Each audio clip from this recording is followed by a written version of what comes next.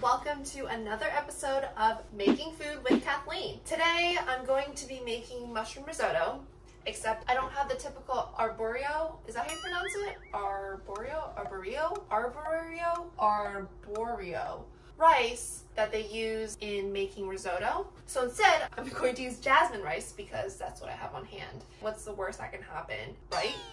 I've gathered some of the ingredients that I need, some white mushrooms, portobello mushrooms,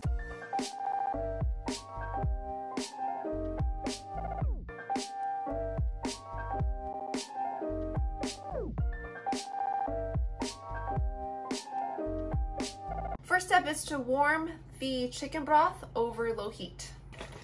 Calls for six cups. So in typical me fashion, I just read through the all the instructions and I realized I need like multiple pans. So I'm going to transfer this into a pot and then I'm going, I'm gonna move on to the next step to cook the, the mushrooms.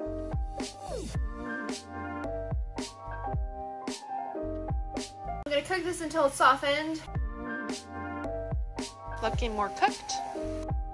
While this cooks a little bit more, I'm going to start on the next step, which involves a different pan. I'm gonna add my onions, then add the rice, then stir in the wine. And then it says to add half a cup of the broth to the rice and stir until it's absorbed, and then continue doing this for about 15 to 20 minutes. I'm going to be using jasmine rice as an experiment because I don't have the other kind of rice that I cannot pronounce. This recipe calls for one and a half cups of this. So I'm going to add this into my pan. Okay, so my rice has been in here for about two minutes and I'm going to add in my dry wine and ask for half a cup. Ooh! So I need to stir this until the wine is completely absorbed. Oh, one thing I forgot to mention is that you know how usually risotto is a little bit more stickier and starchier? Since I'm using jasmine, in order to preserve some of that starchiness, I didn't wash the rice. The wine has been absorbed, and now begins the cycle of adding some of the broth to the risotto and the stirring until it's absorbed.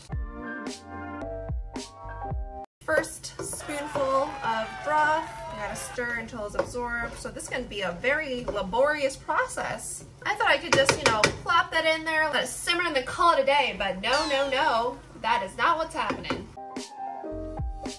I'm gonna keep doing this process for the next 15, 20 minutes.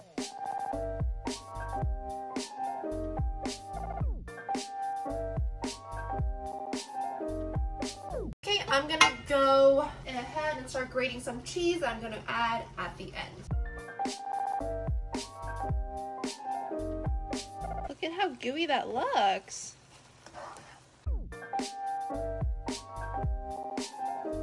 We are in the final stretch. I'm gonna turn off the heat. Then I'm gonna stir in the butter, the chives. I'm gonna stir in everything now.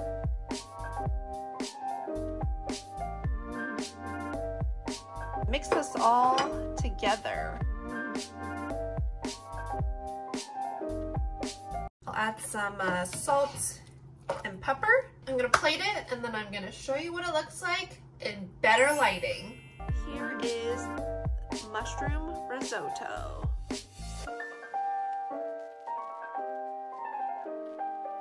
looks amazing.